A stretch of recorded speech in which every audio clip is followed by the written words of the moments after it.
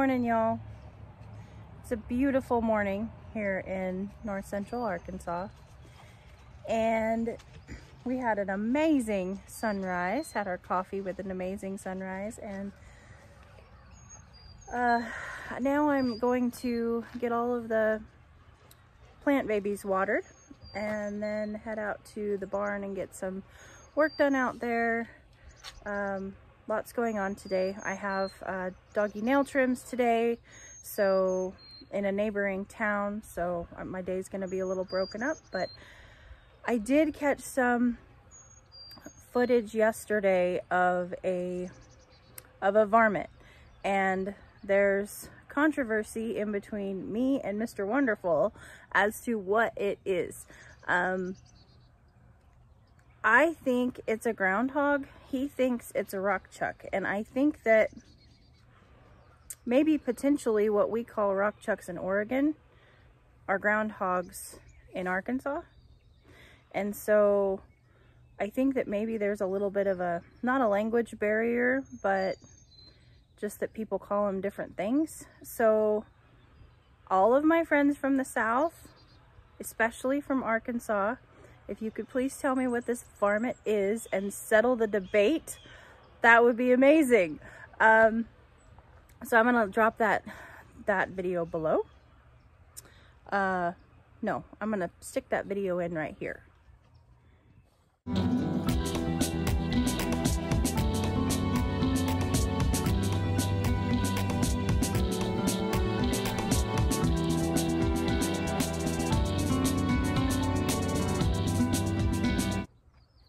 Okay, so what is it? Please tell me. Um, anyway, they're cute and they're, I'm sure they're vicious, but they're cute, you know, from the roadway. So we're going to get these babies watered and taken care of and uh, the grass is starting to grow, so mowing is going to start, which I'm actually kind of excited about. I know I shouldn't be, but I kind of am. I mean, mowing my yard in March when I'm used to having eight inches of snow in my yard, um, I'll take it. So anyway, I hope you guys are having a great day. Come along and let's see if we can find something fun to do. This is our row of potatoes in um, tubs, mineral lick tubs or protein lick tubs for cattle. Uh, we get them for free or very little money uh, from the cattlemen when their cows are done eating all the good stuff out of them and then we grow something good in them. so this is all uh, potatoes and all of these there's 2 4 6 8 10 12 14 16 18 20 22 24 26 28 buckets. And these are all of our determinate potatoes. Um, there's some Yukon Golds in here. There's some Pontiac Reds. And I believe Purple Majesty are in here. And we still have our indeterminates to plant. There aren't as many, but we ran out of protein tubs, so we're trying to decide what we're gonna put them in. Uh, and then of course we haven't planted uh, sweet potatoes yet. It's not warm enough for them yet. Sweet potatoes are frost tender. Potatoes are frost tender too, but they can take a little bit of a of a frost um, and get you know get zapped a little bit and then come back. Uh, but sweet potatoes are are very uh, warm weather preference plant. So we're waiting on, on them.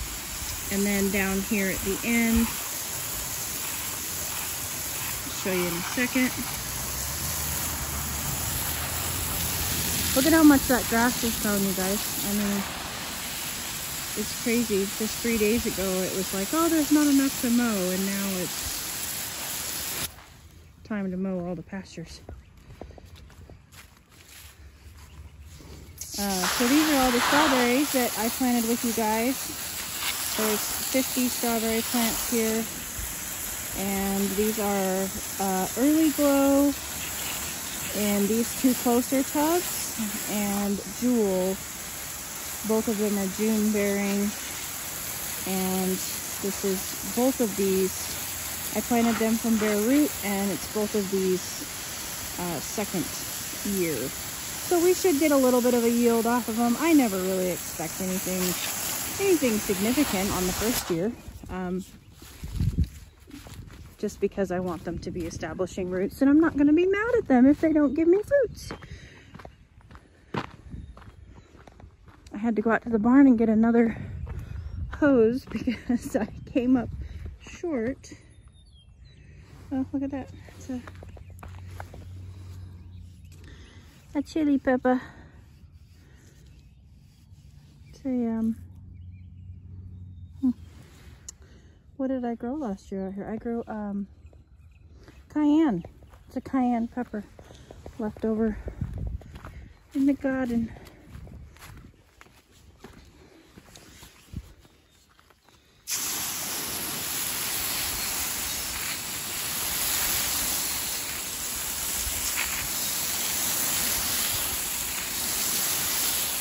You know what?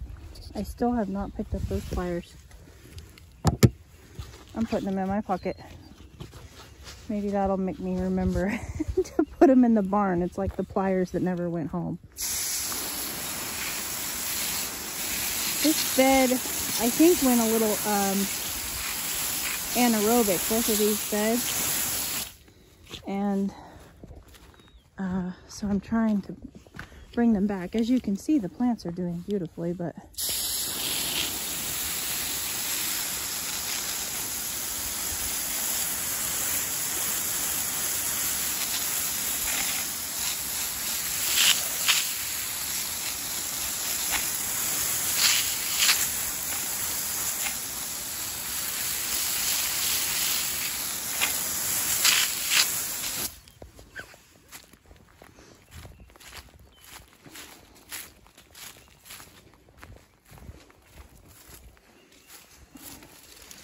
Little rhubarbs are starting to come up.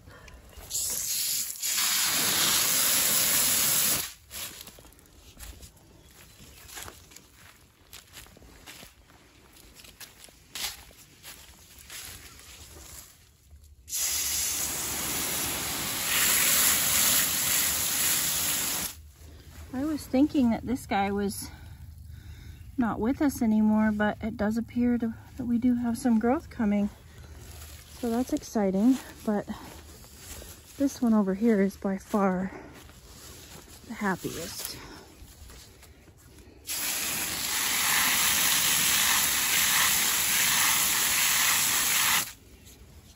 Okay, does it for this hose watering.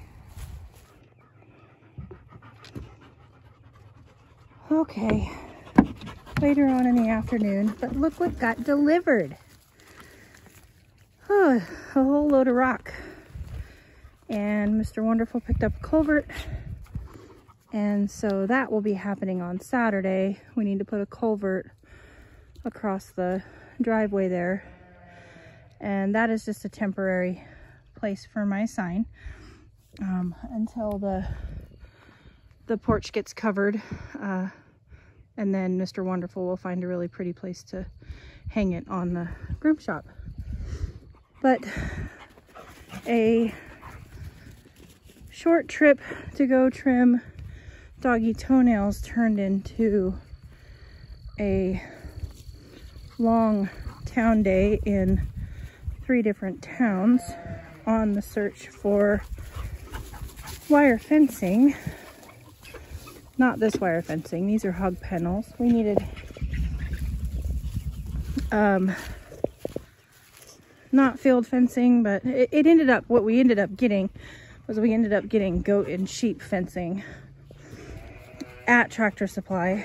And of course now it's later in the evening, so all the kids are yelling at me because they're hungry. And so I have to get evening chores done and then see what else I can get myself into before it gets dark. Look at how much the farm is greening up. It's amazing how quickly it happens. I just, you guys are probably gonna get tired of me saying that, but I just can't believe how fast things grow here. um, and, oh, I left my truck door open. Mr. Wonderful's coming up behind me in the four-wheeler, making noise.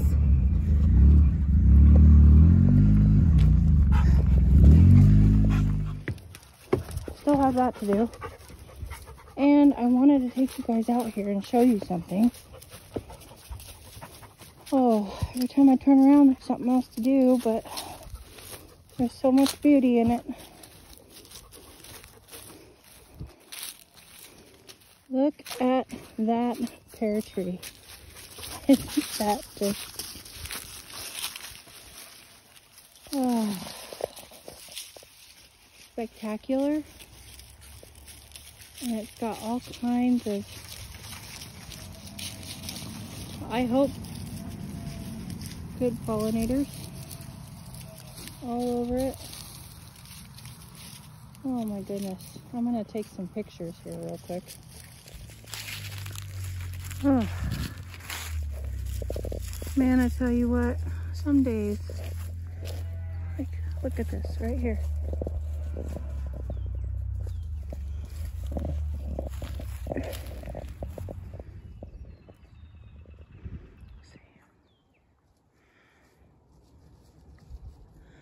I think it's safe to say there's going to be some uh, thinning that needs to be done on this two-year-old pear tree.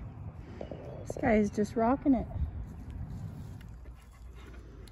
Mr. Wonderful's making progress on the fences down here. He's got a, uh, looks to be an H brace happening down there. And um, he's working on the other side too.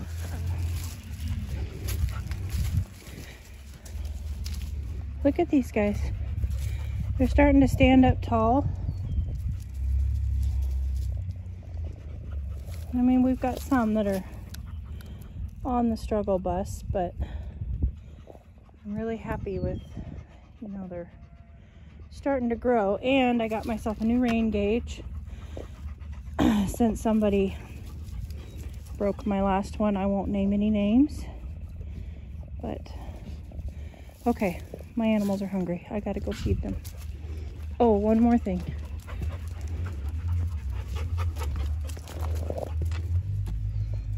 Look at that.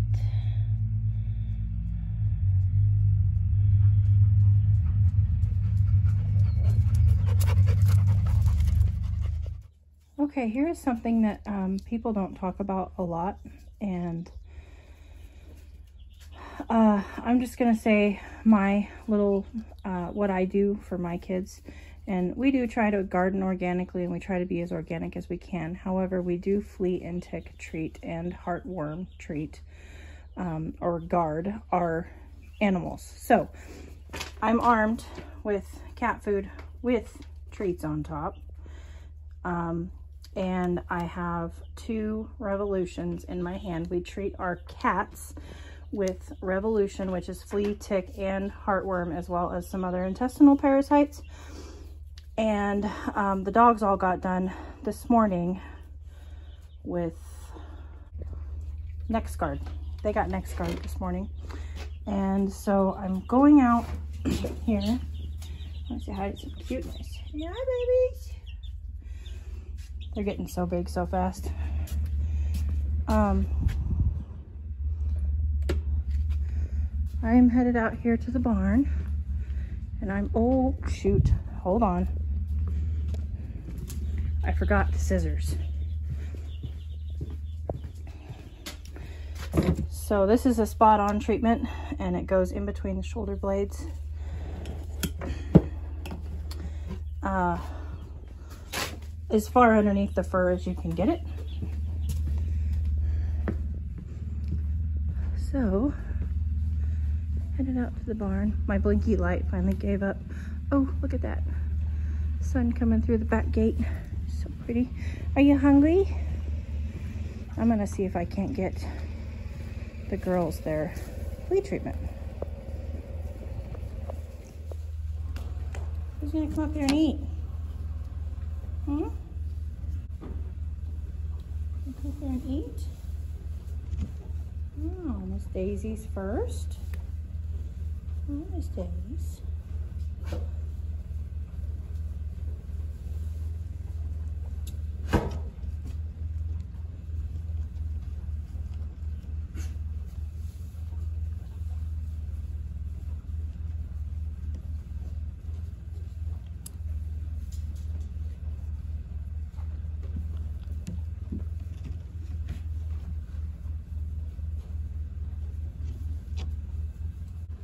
Miss Daisy.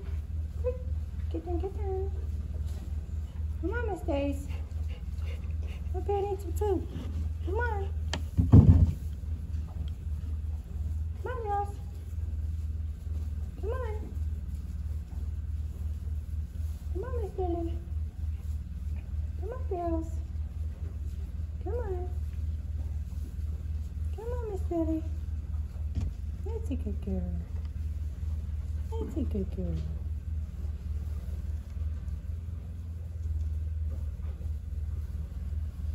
That's a good girl. Yeah. Hmm. Okay.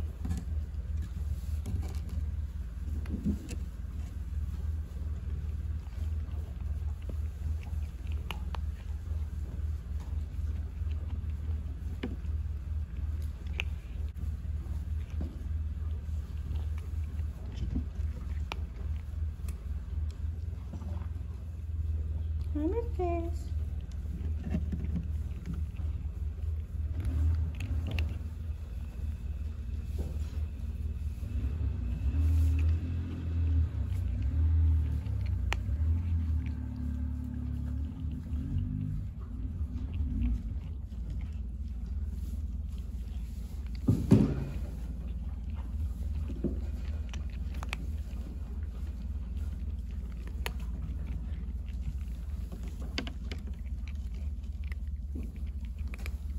Girl. Okay. Whoopee. Got the two barn kittens there. Revolution. That's always a big deal because they don't really like to be caught, touched.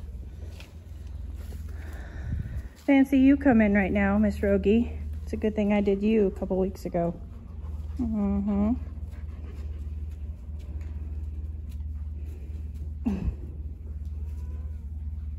So far, our three barn cats are doing just fine. Okay, check that off the list. Um, I got the stalls done this morning before we left. And honest to goodness, you guys, there was no intentions of being gone all day. Um, it's just, it's part of it. We, we're trying to build a farm.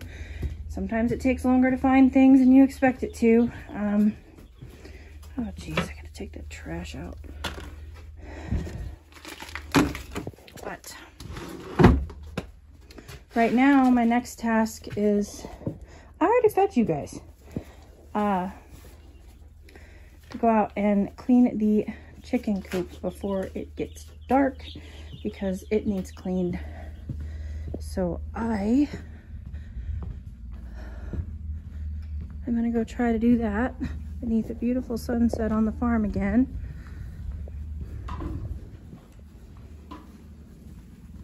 Hi guys. How's it going? Huh? Forest fungus is looking a little better every day and Broncos is all but gone. So that's good news. And Missy Velvet got a, I think it was a pretty decent tick bite. Um, you guys know of anything to help keep the ticks off your horses, please let me know. I am spraying her with fly spray. Pretty, um, I don't want to say extremely, but um, you know, I'm I'm covering every inch of her body with fly spray every single morning. Um, And I don't necessarily love to do that, but if that's what keeps the ticks off of her, and so far, for the most part, I've only picked off that one new one this morning, but it was on her lip and her whole bottom lip got all swell up. So I, um, I got the tick off and then I treated it with iodine and I checked all the rest of her body and there's no other new ticks. Uh, but if anybody knows of a better way, then please, please, please feel free to drop it into the comments. I would love to hear alternative ways other than putting a fly spray on her every day. I don't mind the work, um, but I just don't like using chemicals if I don't have to. So um, anyway, back out I go. The girls and King are doing pretty good together. So that's good. There we go. Okay, well, got dark on me again, but uh, the white powder is DE, diatomaceous earth. And we've got some kids up top and some on the bottom. A new bag of bedding in the chicken coop. Their minerals are filled and um, I'm gonna let them go to bed. I didn't mean to disturb them this late, but sometimes you gotta do what you gotta do. So here we are again. It's dark, but that's part of it's part of working and uh, it's just part of life. And um, that is Velvet pulling hay out of her hay bag. Um, but the chickies are taken care of and the onions are growing great and the strawberries and the potatoes are doing their thing underground. Um, so the gardening season has kicked off and the business is open.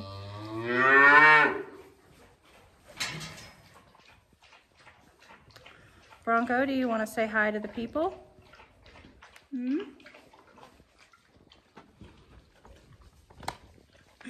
Is there something that you'd like to say? Yeah, he says bring more food. Yeah. Sorry, I'm trying to keep you guys out of the the, the glare of the light up there. Um, videoing at nighttime is is challenging and I'm sorry about that, but I like to show you guys my real life and ah, struggling, hold on. Find a, there isn't really a good spot. Um, so, um, yeah, thank you guys for hanging out with me again today and checking in on the garden and and the kids and doing some farmy chores. And sorry it was another split day but this is my life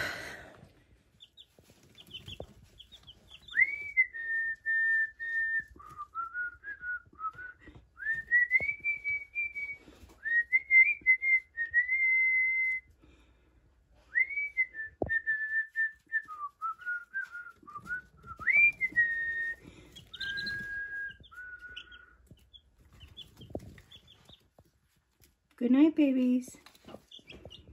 I love you. Come on, guys. Come on, come on. Let's go, let's go.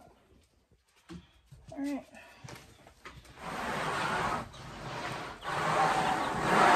Okay. Well, more broken up days to come as uh, the groom shop grows and the farm grows, of course. But as promised, we will take you along for every step of the way. I'm so glad you stopped by today. I hope you had a beautiful day. Yours truly.